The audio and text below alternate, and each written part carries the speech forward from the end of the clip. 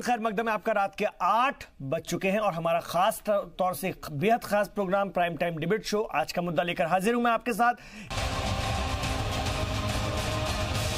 तो चलिए, बातचीत की शुरुआत करते हैं, लेकिन मेरे पाँच सवाल जिनके इर्द गिर्द ये चर्चा घूमेगी।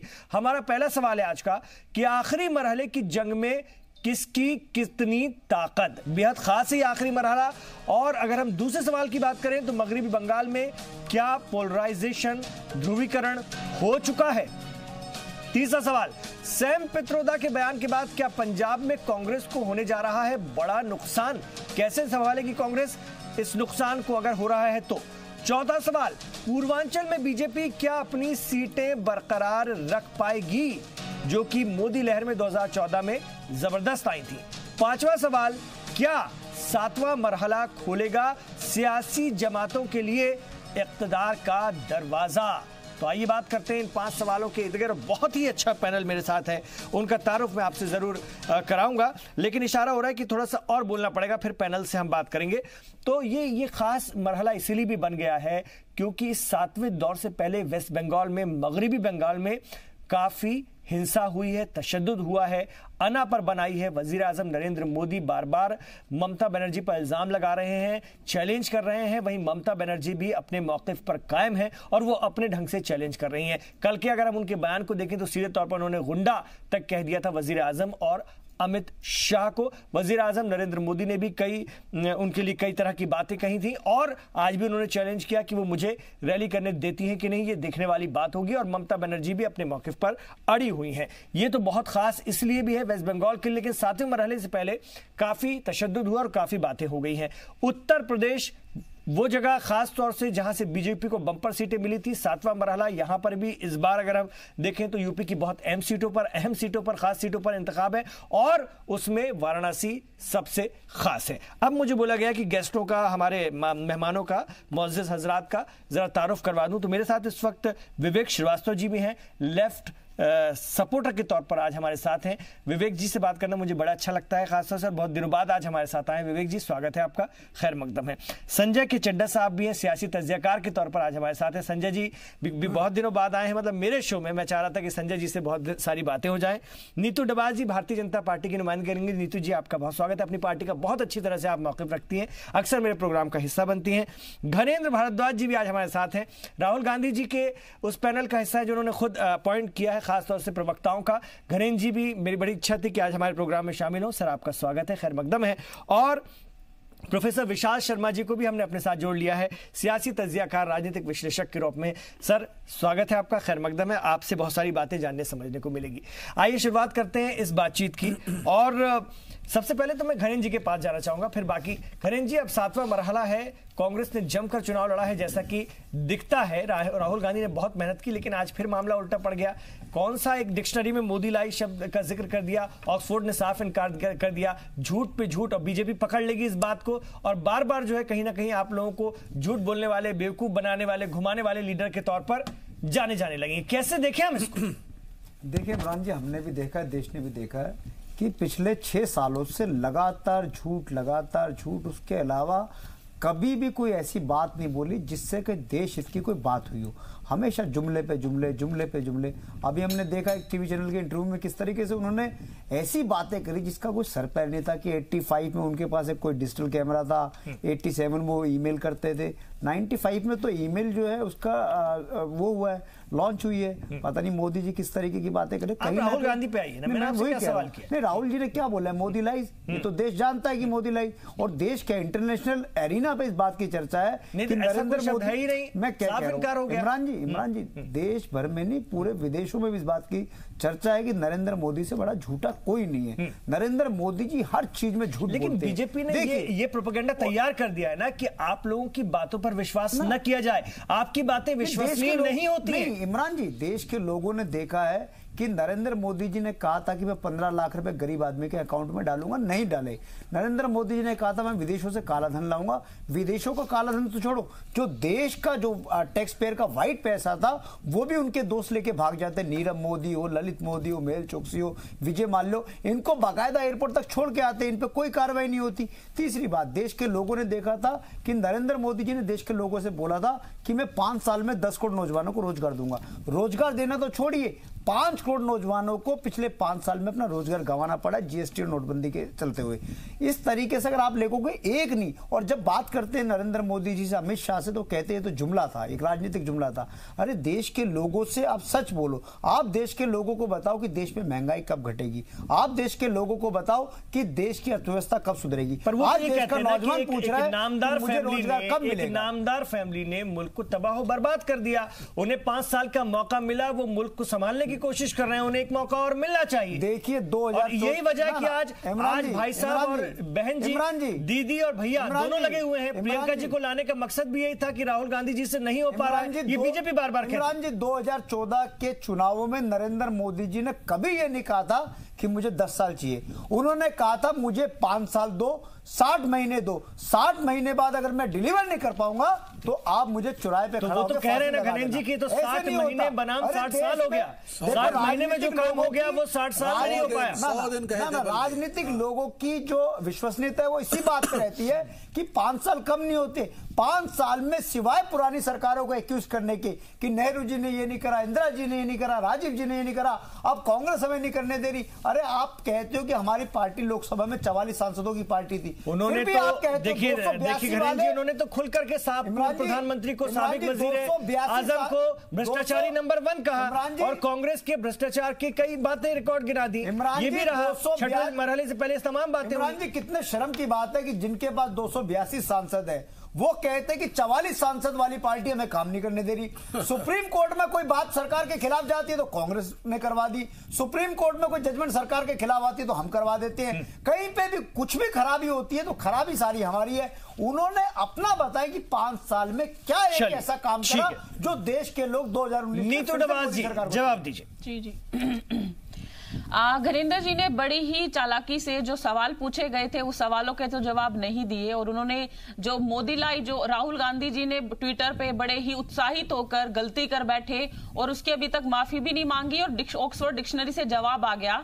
और उसमें मैं घरेंद्र जी को बताना चाहूँगी कि उसमें साफ़ साफ़ उन्होंने लिखा था कि ये शब्द जो है ऑक्सफोर्ड डिक्शनरी में ऐड हुआ है, जबकि डिक्शनरी ने स्पष्ट, ऑक्सफोर्ड ने स्पष्ट कर दिया कि हमने ऐसे शब्दों का जो है ऐसा कोई वर्ड ऐड नहीं हुआ। ठीक है, ये एक वाक्य हुआ, लेकिन ये वाक्य एक साथ है ये पूरी फेरिस्त है पूरी लिस्ट है जिसमें कांग्रेस के राहुल अध्यक्ष जी राहुल गांधी जी से लगातार गलतियाँ होती रहती हैं और हम यही अपेक्षा भी हमें एक व्यवहार में हम निश्चित भी कि वो इस तरह की गलतियाँ करती रहेंगे। पार्टी के पूरा इतिहास देख लीजिए और वर्तमान के जो लीडर्स है उनके बयानबाजी देख लीजिए। आपने कहा कि मोदी जी ने वादे किए और हम जो, जो है सड़कों पर जाएँगे। हम तो हैं हम तो अपने एक रिपोर्ट कार्ड को लेकर अपने काम को लेकर चुनाव तो के चुनाव में गए को हुए हैं। आपके बीच में बिल्कुल नहीं बोल बोल रही थी मुझे पूरी बात रखने लीजिए कैसा रवैया था कि हुआ तो हुआ। आज। अरे चौरासी के दंगे हो गए तो हो गए। क्या बड़ी बात हो तो गई। देश में आप साध्वी प्रज्ञा के बयान पे बोलिए ना। राजीव आप गांधी साध्वी प्रज्ञा के बयान पे बोलिए जिन्होंने नाथूराम गोडसे को आपका समय रहेगा। इमरान जी बीच में ऐसे बिल्कुल नहीं बोल रही थी। आप मुझे मेरी बात रखने दीजिए। आपने मैंने आपको बहुत शांतिपूर्वक सुना। आप भी प्लीज़। शांतिपूर्वक सुनिए। नीतू जी बोलिए। कैसा रवैया है पार्टी का? कैसी मानसिकता है इस पार्टी की? कि एक एलिटिज्म इतना हावी होता है कि देश में जन नरसंहार होता है और आज तक कांग्रेस ने उसकी माफ़ी नहीं मांगना ज़रूरी समझा। और व्यवहार ऐसा है देश पार्टी के जो पार्टी के नेताओं का कि हुआ तो हुआ कि ऐसी अगर जन नरसंहार हुआ लोग मरे तो मरे। हमारी कोई गलती नहीं थी हम इसमें शामिल नहीं थी। ऐसी बहुत सारी चौकीदार चोर अभी स्वयं ही प्लीज़ मुझे अपनी बात रख आपके पास पूरा समय होगा। अभी हाल फ़िलहाल बीजेपी वालों ने राहुल गांधी चला जो है है, सोशल मीडिया पर लाइन लगा दी। जब राजीव गांधी जी कहते हैं कि बड़ा पेड़ गिरता है तो धरती हिलती है। ये वीडियो सबने देखा है। कि और ये सच्चाई ये सच्चाई ये पार्टी लोगों की नहीं है। एक परिवार द्वारा चलाई जाने वाली पार्टी है। इसमें जिन्होंने एक आराम से चीज- कहते कि हुआ तो प्रधानमंत्री बनाया। है। हाँ। इस सड़कों पर लोगों के कत्ल कर दिए गए इनके लिए कोई बड़ी घटना नहीं थी। और उसी जो लोग शामिल थे सज्जन कुमार जगदीश चलाते टाइटकर हैं, 2013 2004 तक सज्जन कुमार ने चुनाव लड़ा है इसका मतलब पार्टी ने सीधे तौर पर कहा कि हम इसके लिए जिम्मेदार नहीं है और हम इसके लिए कोई गाड़ी बैक करते किसी की भावना नहीं है उस गाड़ी के टायर के नीचे आ जाए अभी हाल ही में वीडियो आया चौकीदार चोर मुद्दे का खूब राहुल गांधी ने उसको इशू बनाने की कोशिश की और एक चैनल के इंटरव्यू से पूछा गया कि आप क्यों नहीं कहते कि अगर आपकी पार्टी की सरकार अगर बनती है 2019 के चुनाव में तो आप राफेल के मुद्दे को निश्चित तौर पर राफेल पे? सवाल होगा। चाहिए। चलिए, से ठीक है, ठीक है। उसके पास जवाब नहीं चलिए, विवेक श्रीवास्तव जी, आ रहा हूँ, आ रहा हूँ। ठीक है, नीतू जी, नीतू जी, मैं चाह रहा हूँ, सब लोग पहले जरा पहले मरहले में, पहले दौर में बोल लें। जी, कोर्ट जी घरेल जी सुनिए कोई बचेगा जी, ठीक है ना, आप दोनों के पास आऊँगा, खूब हूँ, बहस कीजिएगा। जिसने मैं दोनों को मौका दूँगा। बाकियों को भी मौका दीजिए। हो बाकियों को मौका दीजिए नीतू जी ऐसी बात नहीं होगी नीतू जी को जेल जाना पड़ेगा। नीतू जी घनेन जी नीतू जी घनेन जी एक एक करके। बिल्कुल तर्क के साथ बात होगी। तर्क के साथ। जरा मैं विवेक श्रीवास्तव जी वेस्ट बंगाल की तरफ़ भी आना चाहूँगा फिर पंजाब की तरफ़ भी जाना चाहूँगा घनेन जी के पास जो सवाल नीतू जी ने उठाए हैं। लेकिन वेस्ट बंगाल में जो आपने देखा सातवें दौर से पहले जो हिंसा हुई लेफ़्ट का भी काडर रहा है लेकिन आज ऐसा लगता है सीधा मुकाबला बीजेपी और ममता बनर्जी के बीच है तृणमूल के बीच है। और जो कुछ वेस्ट बंगाल में हुआ है अगर पोलराइजेशन हो रहा है ध्रुवीकरण हो रहा है तो किसके फेवर में हो रहा है? थोड़ा सा रोशनी डालिए सर। अगर हो रहा है तो। दोनों ने कोशिश की है बिल्कुल बिल्कुल बिल्कुल। देखिए पैंतीस साल तक लेफ़्ट जब था तो इस तरह के दंगे इस तरह की त्रिशूल यात्राएँ इस तरह की आ, मुस्लिम कैप्स वाली यात्राएँ ये सब मिसिंग था क्योंकि हम कंट्रोल करना जानते थे। लेकिन उसके बाद जब से ममता बनर्जी आई हैं और अमित शाह चाहते हैं कि इन रोड्स बनाए जाएँ। उत्तर प्रदेश तो हारे हुए हैं। उत्तर प्रदेश में तो इनकी पाँच सीट भी आ गई तो बहुत बड़ी बात है। तो अब कहीं ना कहीं से तो सीटें लेनी है। तो अब बंगाल में सीट घुसने तो आपने की- बहुत कम अरे भाई दस बना लिए अरे आप रिज़ल्ट आने दीजिए आप देखिएगा। आप आने दीजिए रिज़ल्ट ये जो योगी का जो मिसरूल है ये यूपी में इनका सफाया करेगा। और बंगाल में घुसने के अलावा अमित शाह के पास कोई ऑप्शन नहीं था। और उसके लिए ये वहाँ पे धर्म की राजनीति कर रहे हैं। हिंदू वर्सेस मुसलमान इसको बनाने की कोशिश कर रहे हैं। लेकिन let me tell you one thing Bengal का आदमी पॉलिटिकली बहुत ज़्यादा एक्टिव पॉलिटिकली बहुत ज़्यादा कॉन्शियस है और इन बीजेपी वालों की और ना ही तृणमूल वालों की सुनने वो सुनने वाला है नहीं। दूसरा मैं बस एक सेकंड एक और बात बोलना चाहता था जो ये ये मोदी लाइव वाली बात आई थी। जब ये मोदी लाइव वाली बात मैंने टीवी पे देखी तो मैंने एक चीज़ टाइप करी आप भी अपने मोबाइल फ़ोन पे जरा टाइप करिए और दर्शक भी करें। आप गूगल पे जाइए और टाइप करिए स्टूपिड स्पेस पीएम एंटर ना तो हमने कंट्री को बताया कि हम किस देश के प्रधानमंत्री की बात कर रहे हैं, ना हमने बीजेपी का नाम लिया, ना हमने नरेंद्र मोदी का नाम लिया, लेकिन जितना रिज़ल्ट आपको गूगल के फ़र्स्ट पेज पे आएगा, उसमें नरेंद्र मोदी की ही फ़ोटोज़ आपको दिखेंगी। तो ये क्या है ये क्या माजरा है कि जब ये झूठ शब्द स्टुपिड शब्द फ्रॉड शब्द ये आते हैं तो सिर्फ़ नरेंद्र मोदी और भारतीय जनता पार्टी के जो प्रधानमंत्री हैं क्योंकि भारत के प्रधानमंत्री तो। पार्टी के प्रधानमंत्री नहीं नहीं भारत यही के कह रहा हूँ प्रधानमंत्री। भारत के प्रधानमंत्री बनने की कोशिश कहाँ करी है अगर आप सिर्फ़ बीजेपी के प्रधानमंत्री बनना चाहेंगे तो आप क्या आप- कहना चाहते आप हैं कि को 2014 respect नहीं चुनाव देते। हुए और देश की जनता आप- ने मोदी जी को प्रधानमंत्री के तौर नहीं पर देते। चुना है तो क्या आप वो भारतीय जनता में पार्टी नहीं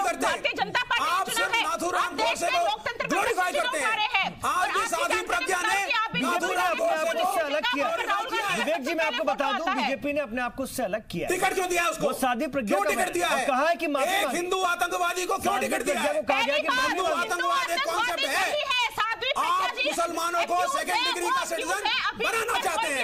ये इनका एजेंडा है क्योंकि चुनाव चल रहे हैं है, इसलिए भी माफ़ी मांगने को कहा। इस तरह की आपने बात टिकट क्यों दिया। इस तरह की बात टिकट। दिया विवेक जी आप भी अपने ढंग से पोलराइजेशन कर रहे हैं। आप भी अपने ढंग से पोलराइजेशन नहीं कर रहे हैं हम सेक्युलर हैं? ये क्या हिंदू और मुसलमान दोनों भाई हैं और इस देश में दोनों को इक्वल सिटीजन की तरह रहने का अधिकार है। और अगर साधी प्रज्ञा जैसे लोग कौन उनको गोयम मानता है? को कौन मानता है? करेंगे तो इनका टिकट कैंसिल कोई करेंगे गोयम नहीं मानता सर? कौन दो माफ़ी का क्या मतलब है? कौन दो काम मतलब है? दर्जे मतलब का? आरएसएस के डीएनए में भी नाथुराम गोडसे काम कर रही विवेक जी। आपके यहाँ कहने से आप आप ने आपने गुजरात में मुसलमानों को सेकेंड ग्रेड सिटीजन बनाया। आप लोगों का और आप ये चाहते हैं कि हिंदुस्तान का मुसलमान भी एक सेकंड ग्रेड सिटीजन हो। नहीं। लेकिन हम सेकुलर पार्टी से होने नहीं देंगी। विवेक जी हम सेकुलर पार्टी से होने नहीं देंगी। India is a socialist secular republic ठीक है लेकिन लेकिन ये भी एक सच है कि कोई दोयम दर्जे का नहीं है। हिंदुस्तान का संविधान सबसे ऊपर है नहीं। बीजेपी का बस चले तो सेकंड दर्जे का हो जाएगा। नहीं उसका जवाब मैं उसका जवाब। लूँगा। नीतू डबाजी से जरा अब मैं आ रहा हूँ। ठीक है ठीक है नीतू जी आऊँगा आपके पास। नीतू जी आपसे मैं जवाब लेने आऊँगा। आप ही जवाब दीजिएगा। लेकिन इस तरह के लफ्जों का नहीं इस्तेमाल कीजिए विवेक जी क्योंकि ये ठीक बात नहीं है। और हमारे साथ अब हैं हमारे संजय के चड्डा साहब, सियासी तजियाकार के तौर पर हमारे साथ हैं और प्रोफेसर विशाल मिश्रा साहब भी हैं। मैं दोनों से बात करूँगा। आपने बहस सुन ली, आखिरी दौर है। कोई प्रोफेसर विशाल मिश्रा जी कोई भी छोड़ना नहीं चाहता कोई बात ये पूरी ताकत जो है अपने उरूज पर है सबकी। जो जो लड़ रहे हैं इस सातवें मरहले में। आपको ये चुनाव किधर जाते हुए दिख रहा है? सातवें दौर का क्योंकि ये यहाँ आते आते बहुत एग्रेसिव चुनाव हो गया हम देख पा रहे हैं और एकदम करो या मरो वाले हालात हैं। क्या कुछ कमज़ोरी है? इधर भी कुछ कमज़ोरी आ रही है और इस तरफ़ भी कुछ हारने का डर है? क्या है? देखिए मैं ओवरऑल कंक्लूजन को पहले दो लाइन में समराइज कर दूँ और वो दो दो पंक्तियों में है और वो ये है कि जो डलहौजी ना कर पाया जो डलहौजी ना कर पाया वो ये हुक्काम कर देंगे। जो डलहौजी ना कर पाया वो ये हुक्काम कर देंगे कमीशन दो तो हिंदुस्तान को नीलाम कर देंगे। ये बात मैंने डलहौजी जी की पंक्तियाँ इसलिए डलहौजी जी के ऊपर जो शेर लिखा गया था कहीं है। क्योंकि जो कुछ भी कल बंगाल में हुआ ईश्वर चंद विद्यासागर जी एसोसिएटेड हैं डलहौजी जी से क्योंकि ये वही अठारह का वीडियो रिमैरिज एक्ट है जो ईश्वर चंद विद्यासागर जी के अथक प्रयासों के बावजूद लाया गया था के एफर्ट से लाया गया था। और उनकी मूर्ति को इस तरीके से वेंडलाइज कर देना कहीं ना कहीं हम इंडिया के आइडिया को ही निगेट कर रहे हैं। आरोप प्रत्यारोप दोनों पार्टियों की तरफ़ से हुआ है। नो डाउट वीडियो भी जारी हो गए दोनों तरफ़ जारी हुए हैं। लेकिन मैं इसको ब्रीफ में कहते हुए ये कहना चाहूँगा कि ओवरऑल वेस्ट बंगाल में पिछले कुछ दशकों से जो कॉम्पिटिटिव पॉलिटिक्स है वो कंप्लीटली रूट आउट हो गई है। और जो इंडिविजुअल एजेंसीज हैं जो आम आदमी है उसकी जो सिविक लाइफ है वो सब एक पॉलिटिकल कैडर तृणमूल कांग्रेस के बैनर के तले सब्ज्यूम हो गई है। और इसका रिज़ल्ट ये है कि इंडिविजुअल आइडेंटिटी खत्म हो गई है। ये कोई नया नहीं है। ये जो कांग्रेस और लेफ़्ट ने शुरू किया था 1960s के डिकेड में इलेक्शन को जीतने के लिए उसी परंपरा को तृणमूल कांग्रेस ने कैरी ऑन किया है। ये वही तृणमूल कांग्रेस है जब 1977 से लेकर 2011 तक तक केवल और केवल लेफ़्ट का गढ़ हुआ करता था और इसे 2011 में पहली बार वो ब्रेकआउट हुआ। तो तृणमूल कांग्रेस आज ये बात इस ज़िम्मेदारी से भाग नहीं सकती कि उसकी भी जवाबदेही बनती है। देखिए क्या है कि ये जो फेडरल स्ट्रक्चर है ना यहाँ पर लोग इलेक्शन कमीशन को मैं सुबह से टीवी न्यूज़ सुन रहा हूँ दोस्त दोस्त दे रहे हैं कि इलेक्शन बैन कर दिया गया। इलेक्शन कमीशन की भी अपनी इस फेडरल स्ट्रक्चर में सीमाएँ हैं। इलेक्शन कमीशन ने अपने पावर को यूज़ तो किया अंडर द आर्टिकल 324 जब उसको लगा कि परिस्थितियाँ गंभीर हैं ऐस, ऐसे में फेयर और जस्ट इलेक्शन करवा पाना शायद संभव नहीं हो पाएगा। तो इलेक्शन कमीशन ने 24 घंटे पहले से ज़्यादा पहले प्रचार को बैन करवा दिया। अब इलेक्शन कमीशन उस पर भी इल्ज़ाम लग रहा है कि मैं- वज़ीर आज़म की रैलियाँ कल पूरी हो जाएँगी क्यों होने दी? वज़ीर आज़म की कल रैलियाँ रैली पूरी हो जाएँगी उसके बाद बैन शुरू की रैली के बाद आप बैन करेंगे? आपको ब्रीफ करूँगा people are people are claiming about the role of sir commission. listen to me You are carefully. misusing No, the sir. election commission. आपने इलेक्शन कमीशन का मिसयूज किया है मोदी की रैली के बाद you have done it see, जब तक आपने इलेक्शन कमीशन के जब अफसरों को किसी भी misuse एम्प्लॉय को एम्प्लॉयर देगा। इलेक्शन कमीशन के प्रोविज़न के अंतर्गत election commissioner is appointed by the government तो आप हमें ये बताइए कि तीन शर्तें अरे जब आपने सीबीआई वो को नहीं नियुक्ति करेगा। वो नहीं नहीं, वो नियुक्ति करेगा। केवल आरबीआई को नहीं छोड़ा। जब संविधान तो बनाया गया सुनिएगा दो मिनट के लिए विवेक जी आप बात सुनेंगे। जल्दी से सुन लीजिए फिर बात। यह है कि इलेक्शन कमीशन अकेले कुछ नहीं कर सकता। जो राज्य की ताकतें हैं जो राज्य की ब्यूरोक्रेसी है जो राज्य की पुलिस है वो राज्य के अंडर में है। जब संविधान बना था तो ये उम्मीद की गई थी कि इलेक्शन कमीशन नॉन कमिटल रहेगा एट द सेम टाइम ये भी उम्मीद की गई थी कि ब्यूरोक्रेसी भी नॉन कमिटल रहेगी आज के इस दौर में ब्यूरोक्रेसी नॉन कमिटल आप नहीं है। सब ये- सब ये इल्ज़ाम लगाते हैं। चीज़ें हैं। सब ये नंबर इल्ज़ाम वन, लगाते हैं। इलेक्शन कमीशन का अपॉइंटमेंट होगा। मोड़िए मत। नंबर दो इलेक्शन मत। कमीशन अरे, इलेक्शन इलेक्शन कमीशन का हुआ है। सर्विस कमीशन तो को आप नहीं रैली- सकते आप बताइए बात ये है कि मोदी की रैली के बाद क्यों बैन किया आफ्टर रिटायरमेंट आफ्टर रिटायरमेंट उनको भी रोको मोदी की रैली को, तब हम तो मानते ऐसे में उनकी। सीमाएँ हैं। आपने बैन तो लेकिन लेकिन ये मुझे ज़रूर बताइए ये मुझे ज़रूर बताइए प्रोफेसर विशाल मुझे ये ज़रूर बताइएगा कि ये जो बंगाली अस्मिता का अब एक एक और उन्होंने कहीं ना कहीं बिसात चली है बनाने की कोशिश की है। ममता बनर्जी ने ईश्वर चंद विद्यासागर जी की मुजस्मे के टूटने के बाद उसका फ़ायदा क्या वो लेकर जाएँगी क्या? उन्होंने कल तुरंत चार बजे जो है एक रैली की शक्ल में वो निकल गई। रोड शो उन्होंने कर डाला एक बड़ा और लगातार वो लोगों को लेकर के चली थी बड़ा हुजूम था। तो क्या लगता है बंगाली अस्मिता को पकड़ लिया उन्होंने यहाँ पर वो कहीं नहीं पोलराइज कर लेंगी लोगों को? देखिए ऐसा है। कि बंगाल के लोग ये वही बंगाल है जो भारतीय राष्ट्रीय चेतना का नर्व सेंटर हुआ करता था मैं आपको याद दिलाना चाहूँगा। ये वही बंगाल है जिसका पहली बार दिखा भी रहे कल तस्वीरें भी दिखा जिसका पहली बार अठारह में पार्टीशन हुआ था तब असम और सिलहट को अलग किया गया था। ये वही बंगाल है जब राष्ट्रीय चेतना का केंद्र बना तो उस समय के then British home secretary Risley ने कर्जन को लेटर लिखा वायसराय को Bengal is the par and it would be not fruitful for the Britishers की बंगाल इतना पार रहे। कर्जन उसका उत्तर देता है कि Bengal Congress is tottering on it foot and within the India, remaining in the India, I will be very much helpful in the peaceful demise of the Congress. ये साजिश थी बंगाल के पीछे। जब हिंदू और मुसलमान साथ खड़े गए थे, इतना इंटेलेक्चुअल हुआ करता था। आप बंगाल में वही विद्यासागर है। ये वही में विद्यासागर है।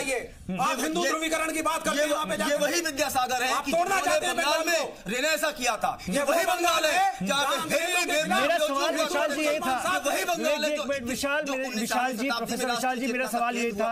मैं क्या ये ममता तो बनर्जी इसका फ़ायदा ले जाएँगी? इसका फ़ायदा क्या ममता इसका बनर्जी? फ़ायदा बंगाल की जनता में ये इसलिए बताया कि बंगाल की जितना जनता इतनी इंटेलेक्चुअल है कि वो इन नेताओं के किसी भी प्रकार के दुष्प्रचार में नहीं आने वाली। नहीं आने वाली। ठीक है। बंगाल की संस्कृति संजय के चड्डा जी के पास और आज संस्कृति की दुहाई दी जा रही है। ठीक है। संजय के चड्डा जी ओवरऑल अगर हम देखें उत्तर प्रदेश को हम देख लें वहाँ भी है मध्य प्रदेश है पंजाब पूरा है और साथ में वेस्ट बंगाल भी है और भी रियासतें हैं लेकिन ये खास अगर हम फोकस की बात करते हैं सातवां मरहला कितना अहम कितना खास और क्या वाकई सियासत की इकतदार की जो चाबी है वो यहीं से मिलने जा रही है सातवें दरवाजे के खुलने के साथ ही। मेरे ख्याल से ये सबसे अहम मरला है। क्यों? पहली बात क्योंकि इसमें जो जैसे उत्तर प्रदेश की जो सीटें हैं वो तमाम सीटें बीजेपी के पास हैं। उनको एक बहुत बड़ा चैलेंज है कि उनको गठबंधन से उन सीटों को बचाना है। कैसे वो सारी सीटें फिर से जीतेंगे? दूसरा वेस्ट बंगाल इसमें है इन्वॉल्व वेस्ट बंगाल में वो पैठ बनाना चाह रहे हैं और वहाँ पे जैसा कि पिछले चुनाव अभी हुए थे जो ग्राम जो ग्राम पंचायत- ग्राम पंचायत- के हाँ, चुनाव हुए थे उनमें बीजेपी का वोट परसेंटेज में काफ़ी राइज हुआ था। ना मैं एक बात बता बहुत ही अहम है वेस्ट बंगाल के इशू पे अगर हम आए। हमारा जो देश है और हमारा जो चुनाव की प्रणाली है हमारा जो डेमोक्रेसी है वो निर्धारित होती है कॉन्स्टिट्यूशन से। कॉन्स्टिट्यूशन सेकुलर और डेमोक्रेटिक रिपब्लिक हैं हम लोग। और इस पर्टिकुलर पूरे प्रोसेस को कितना बड़ा प्रोसेस है विश्व का सबसे बड़ा प्रोसेस है उसका काम करने की जिम्मेवारी दी गई है इलेक्शन कमीशन को। अब यहाँ पे ये देखना बहुत अहम है। कल मैं देख रहा था कि कुछ लोग कह रहे थे कि इलेक्शन कमीशन का रूल चल रहा है वहाँ पे। मैं ये बताना चाहता हूँ किसी भी तरीके अच्छा से दोनों दोनों ही इल्ज़ाम लगाते हैं इलेक्शन कमीशन दोनों ये लगाते हैं कि इलेक्शन कमीशन का रूल है उनका नियम चल रहा है। तो ऐसी परिस्थिति में ये जो जो भी हो रहा है ये तो इलेक्शन कमीशन को रोकना चाहिए। अगर आप बीजेपी से पूछे तो वो भी यही कह रहे हैं और टीएमसी भी यही कह रही है। बट आपको यहाँ पे ये देखना पड़ेगा बहुत अहम बात है कि एडमिनिस्ट्रेशन की पावर इलेक्शन कमीशन में नहीं चली गई है। सारा जो एडमिनिस्ट्रेशन का जो पूरा जो ग्रुप है जो भी डीएम पुलिस इत्यादि इत्यादि जो उनको भी ये रिस्पॉन्सिबिलिटी दी गई है वो वहीं पे है। इलेक्शन का काम वहाँ पे एक तौर पे अलग से हो रहा है और बाकी एडमिनिस्ट्रेशन कोई काम रुक नहीं गया है। कोई अगर कोई क्राइम होता है तो उसकी एफआईआर होती है। कोई चीज़ें आगे आगे बढ़नी है किसी किसी का अगर कोई वो हो रहा है कोई एग्ज़ाम हो रहा है बच्चों का तो वो अलग चल रहा है। सारे काम हो रहे हैं। इसका मतलब इलेक्शन होने का मतलब ये नहीं है कि सब चीज़ें रुक गई आज। तो ये कहना कि इलेक्शन कमीशन के ऊपर है जिम्मेवारी। लेकिन दो तीन चीज़ें जैसा कि अभी बात में निकल रहा था कि कैसे इलेक्शन कमीशन ने परमिशन दे दी प्राइम मिनिस्टर की रैली को। ये प्रश्न उठाती हैं। हमको ये देखना है कि सैद्धांतिक रूप पे और एक्चुअल में जो प्रैक्टिस है उसको ही फॉलो करना पड़ेगा। जो लॉ है उसको ही फॉलो करना पड़ेगा। अगर आप कोई चीज़ गैर कानूनी है तो उसको चैलेंज कोई भी कर सकता है चाहे वो बीजेपी हो चाहे वो टीएमसी हो। तो मेरा मानना यह है कि ये सारी चीज़ों का समावेश करते हुए हमको ये देखना है कि किस पॉलिटिकल चीज़ें और लीगल चीज़ें दोनों सेपरेट हैं। हमको मिलाना नहीं है कि एडमिनिस्ट्रेशन पर राजनीतिक दल इल्जामबाजी में एक दूसरे पर जो सबसे इल्ज़ाम तराशी करते हैं उसमें सब मिला देते हैं। और अब- वो अब अपने फेवर में मामले को करने के चक्कर में। किसी भी तरीके से इनका जो अल्टीमेट ऑब्जेक्टिव है चाहे कोई भी पार्टी हो उसका अल्टीमेट ऑब्जेक्टिव है ध्रुवीकरण। किस तरीके से वोटर्स के मन को जो कि कानून में बाढ़ है आप नहीं कर सकते। हैं अभी मैं आपको बताता हूँ एक साल पहले एक जजमेंट दिया था सुप्रीम कोर्ट की पाँच बेंच ने। पाँच जजेस की बेंच ने जो कि रूल ऑफ़ लॉ है जो कि कानून है हमारे देश में उसको कोई फॉलो नहीं करता। उसमें कहा गया religion caste creed region language इसके बा, बारे में अगर कोई व्यक्ति इवन वो वोटर है किसी का सपोर्टर तो छोड़िए वोटर भी है वो भी बात करता है तो जिस जिस व्यक्ति के बारे में करेगा उसको उसको लेकिन अ, लेकिन लेकिन सब अपने ढंग से कर रहे हैं और बीजेपी ने मामले को पकड़ा जैसे अगर हम ये इधर पूर्वांचल की बात करें ओबीसी का एक बड़ा ये पूरा एरिया है, अगर हम देखें यहाँ पर, दलितों और मुसलमानों के से बजोड़ के जो तादाद है वो ओबीसी की है। मणिशंकर अय्यर अचानक से प्रकट होते हैं, उनका बयान कहीं ना कहीं वो उसके ज़रिए आ जाता है और वो दिखता है कि उन्होंने उस पर खेद व्यक्त नहीं किया या उन्होंने जो कहा था उस वक्त वो सही था। बीजेपी ने तुरंत पकड़ा और वो कहीं ना उधर उधर काम करेगा कि मोदी जो है, उस तबके से आते हैं, ओबीसी तबके से आते हैं और उन्होंने उनके लिए वो शब्द इस्तेमाल किया था। जरा एक बार लोगों को फिर याद दिला दें। ये चीज़ें हो रही हैं, ये चीज़ें हो रही है और सब अपने अपने ढंग से उसको कर रहे हैं। इस पर भी मैं जरा बात करूँगा इस छोटे से वक्फे के बाद।